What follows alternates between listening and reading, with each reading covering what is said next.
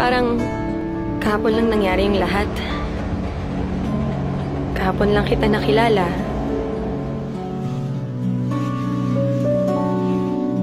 Pasensya na ha. Ayos lang, baka naalog yung utak mo. Baka may nakalimutan ka. Tapos sobrang saya ko nun. Pinakamasakit na balikan yung masasayang moments. Kasi maaalala mo na tapos na rin sila.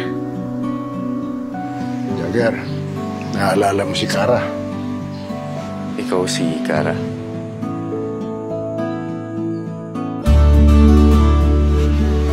Since naaalala mo perfectly yung pinagsamahan ninyo, you can remind Jagger kung, kung sino siya talaga.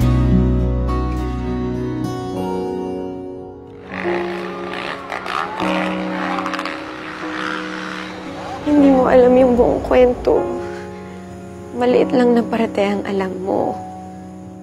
Don't think na ayaw ko tong bigyan ng chance kasi gustong gusto ko lang. Pinipilit kita maalala.